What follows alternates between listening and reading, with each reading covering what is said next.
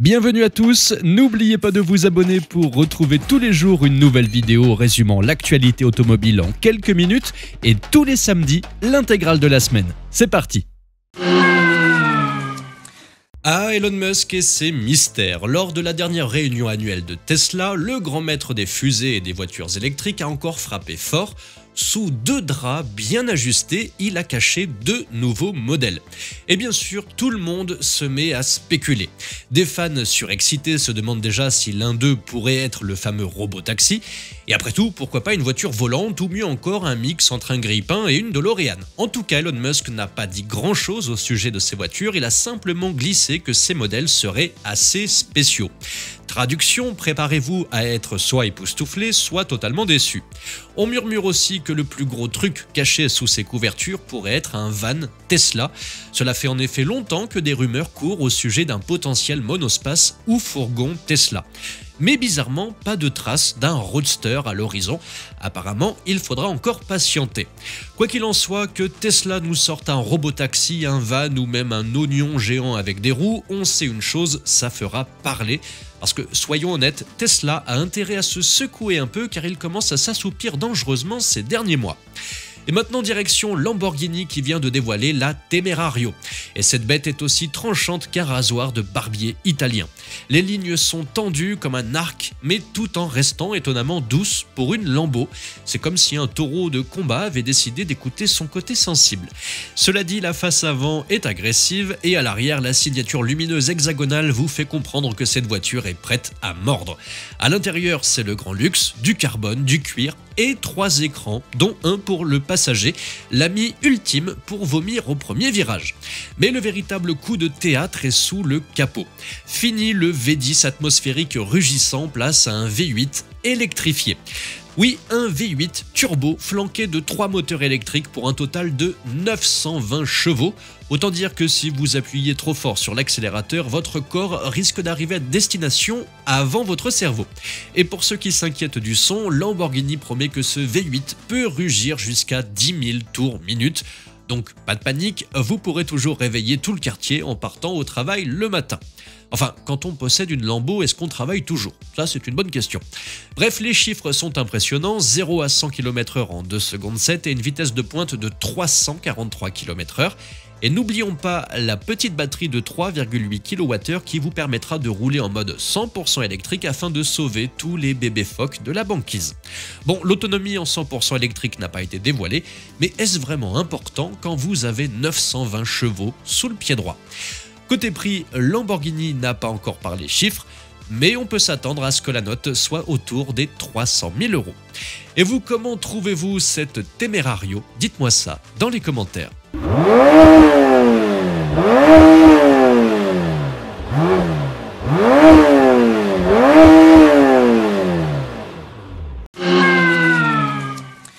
La Rimac Nevera, cette espèce de fusée sur roue qui a débarqué en 2021, a littéralement mis tout le monde d'accord en explosant les records de vitesse.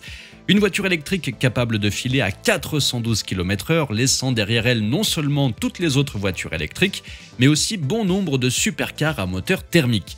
Mais malgré cette démonstration de force, la Nevera n'a pas vraiment fait un carton commercial. Rimac, loin de se décourager, a décidé de sortir l'artillerie lourde avec la Nevera R. Et là, attention les yeux, parce que la Nevera R a sous le capot une puissance de 2136 chevaux. Du coup, cette Nevera R est encore plus rapide que sa grande sœur. Le 0 à 100 km/h est abattu en 1 seconde 81 et pour les amateurs de chiffres ridiculement élevés, le 0 à 300 km/h est abattu en 8 secondes 66 Étonnamment, c'est le même temps qu'il faut pour prononcer. Vous savez, moi je crois pas qu'il y ait de bonnes ou de mauvaises situations. Moi, si je devais résumer ma vie aujourd'hui euh, avec vous, je dirais que c'est d'abord des rencontres. Euh... Et voilà, vous êtes à 300. Oui, Astérix n'a aucun rapport, mais finalement c'est aussi absurde qu'une voiture de 2136 chevaux. Restons dans l'absurde avec le Cybertruck ou comment Elon Musk a décidé de redéfinir le concept de blindage. En effet, il nous présentait son dernier jouet en nous vantant les mérites de sa robustesse au point de tirer dessus. Mais alors qui aurait cru que ce pick-up futuriste se retrouverait un jour au cœur d'un conflit armé?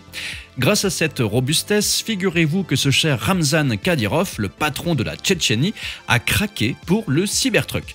Oui, vous savez, Kadyrov, ce mélange physique de Philippe Etchebest et Ragnard le Breton est accessoirement dictateur à 16 heures. Apparemment, il est tellement sous le charme du pick-up américain qu'il l'a fait installer avec une mitrailleuse sur le toit, histoire de rendre les trajets sans doute plus intéressants.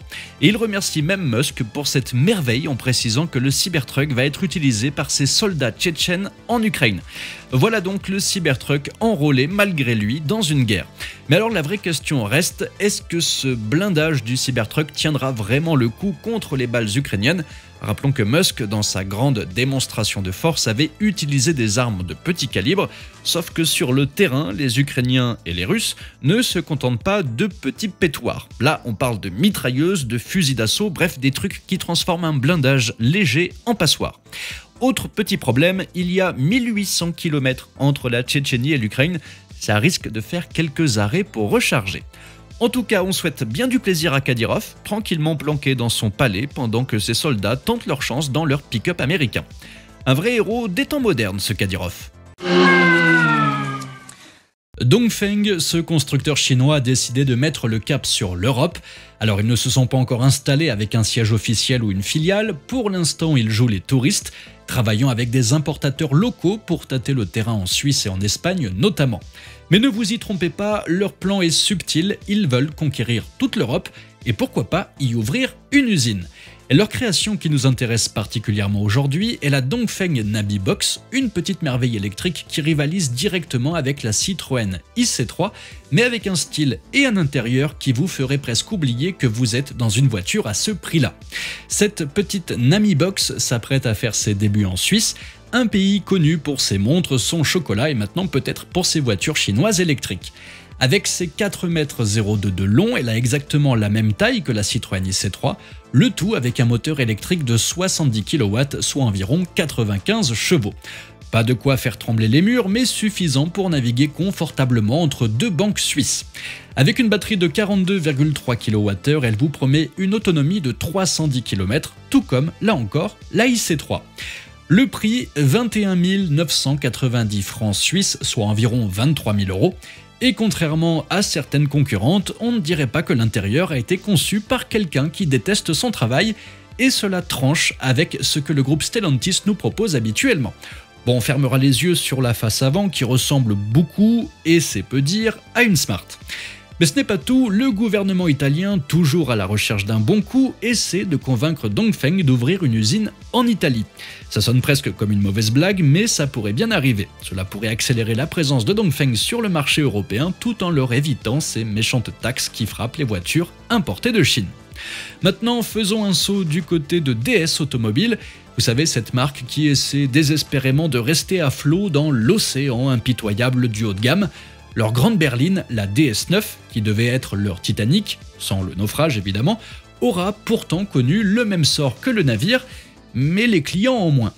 Les ventes sont si mauvaises qu'on pourrait penser qu'ils l'ont construite uniquement pour les employés de la marque, mais DS compte maintenant sur un nouveau crossover pour sauver les meubles, la DS8, prévue pour 2025, qui est actuellement en cours de test. Ce crossover promet d'être tout électrique, mais on entend des rumeurs selon lesquelles il pourrait finalement s'y glisser un moteur hybride au vu des piètres résultats de l'électrique. Le modèle final devrait offrir des motorisations allant jusqu'à 380 chevaux avec une autonomie d'environ 700 km en 100% électrique. Reste à voir à quoi va ressembler cette enclume quand on voit le succès de la 408 qui présente le même profil, ça paraît plutôt mal parti. Saviez-vous que Citroën était présente en Australie? Un mariage aussi improbable que celui entre un kangourou et une baguette de pain, mais la marque au chevron y est distribuée depuis 1923 et contre toute attente, elle a réussi à tenir bon. À son apogée en 2007, Citroën a vendu 3803 voitures, une performance si impressionnante qu'elle n'a jamais été réitérée. Au contraire, les ventes ont chuté. En 2021, la marque n'a réussi à écouler que 175 voitures, soit à peine de quoi remplir un parking de supermarché un jour de semaine. Un peu mieux en 2023 avec 228 unités vendues, mais en 2024, ça repart dans le mauvais sens avec seulement 87 voitures vendues de janvier à juillet. Face à ce désastre, Stellantis a décidé de retirer Citroën de l'Australie. À partir du 1er novembre, fini les nouvelles Citroën dans les concessions. Désormais, la marque se contentera de fournir des pièces détachées pour les quelques irréductibles qui ont encore une Citroën. En même temps, avec une gamme aussi parfaitement adaptée et des prix si alléchants, l'échec était facilement prévisible. Passons maintenant à une légende sur roue, la Mustang, une icône qui rugit depuis 1964 des prototypes 4 portes avaient bien été imaginés dans les années 60, mais ils ont fini dans les oubliettes de l'histoire. Pourtant, six décennies plus tard, surprise, l'idée d'une Mustang 4 portes refait surface. Cette fois, ce n'est plus juste un délire de designer en mal d'inspiration, mais une possibilité bien réelle. Imaginez la Mustang de 7 génération révélée en septembre 2022, mais avec deux portes en plus et une ligne de toit légèrement rehaussée, de quoi loger confortablement les passagers arrière sans qu'ils aient l'impression d'être dans une boîte de sardines. L'empattement serait allongé, donnant à ce coupé musclé des airs de berline sportive, et sous le capot, pas question de lésiner sur le moteur. Ford promet du lourd, aucune trace d'électrique, mais bien un V8 grondant accompagné d'une boîte manuelle pour les puristes. Ford refuse l'électrique pour la Mustang et préfère rester fidèle à son ADN, même si ça va à contre-courant de toutes les tendances actuelles. La Mustang électrique s'appelle Maki, qui est un SUV. Ford le clame pour son coupé et sa future berline, ça sera bien du thermique. Ces derniers temps, Ford fait le ménage, la Fiesta, la Focus et même la Mondeo, tout ça c'est terminé. La marque se concentre sur ses modèles emblématiques et dans cette logique, quoi de plus naturel que d'envisager une nouvelle déclinaison de la Mustang? Parce que entre nous, cette future Mustang 4 portes a quand même beaucoup de charme, vous ne trouvez pas? Les bornes de recharge publique, ce doux rêve d'une énergie verte qui se transforme en cauchemar pour votre portefeuille. Vous avez peut-être remarqué que le tarif de la recharge sur ces bornes a grimpé et cette inflation est la plus visible sur les autoroutes, bien sûr. On pourrait naïvement penser qu'il est normal de payer un peu plus pour une recharge plus rapide. Eh bien, pas vraiment. Prenez les bornes de Lidl par exemple, elles crachent 360 kW pour 40 centimes du kilowattheure. De l'autre côté, Engie vous facture 60 centimes pour 300 kW. Face à cette situation scandaleuse, le gouvernement a décidé d'envoyer l'autorité de régulation des transports pour enquêter. Et qu'ont-ils découvert Eh bien que les tarifs gonflés pratiqués sur les autoroutes viennent tout simplement des conditions d'attribution des marchés aux opérateurs de recharge. Les sociétés d'autoroutes, ces charmants gérants de nos précieuses aires de repos aux toilettes toujours impeccables, choisissent les opérateurs non pas en fonction de ce qui est le plus avantageux pour les automobilistes, mais selon ce qui rapporte le plus pour eux. Oui, vous avez bien entendu, les plus chers sont les premiers servis. Pourquoi? Parce que ces sociétés imposent des redevances exorbitantes aux opérateurs de bornes. Plus de 18% du prix de la recharge part directement dans les poches des gestionnaires d'autoroutes. Et c'est là que le bas blesse, les sociétés comme Sanef ou Vinci préfèrent donc sélectionner des opérateurs qui saignent le plus les clients. Car plus vous payez, plus ils encaissent. Alors la prochaine fois que vous verrez une borne de recharge sur l'autoroute, vous saurez à qui vous en prendre.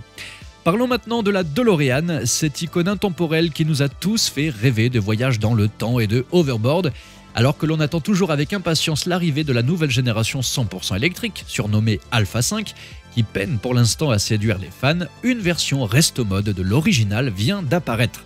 C'est l'entreprise Lynx Motors qui est aux commandes de cette résurrection électrisante. Ils ont décidé de donner un coup de jeune à la DeLorean en balançant le vieux moteur V6 PRV de 130 chevaux à la casse pour le remplacer par quatre moteurs électriques, cumulant la bagatelle de 220 chevaux permettant le 0 à 100 km/h en 4 secondes. Sous le capot, on trouve aussi une batterie CATL de 70 kWh qui vous promet une autonomie de 400 km. Côté design, l'X Motors a su respecter les lignes quasi intemporelles dessinées par Giorgetto Giugiaro tout en modernisant subtilement le museau avec une calandre fermée et une fine signature lumineuse à LED. Et à l'arrière, les feux LED trapézoïdaux et un grand diffuseur viennent compléter ce look futuriste, tandis que les légendaires portes en aile de mouette restent évidemment au rendez-vous. À l'intérieur, c'est une véritable révolution. Adieu les vieux compteurs à aiguilles. Bonjour à une immense dalle digitale composée de deux écrans indépendants qui traversent l'habitacle.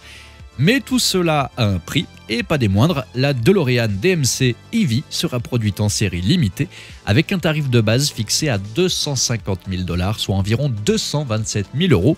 Les premières livraisons sont attendues pour 2025. Et vous, comment trouvez-vous ce reste mode? Dites-moi ça dans les commentaires.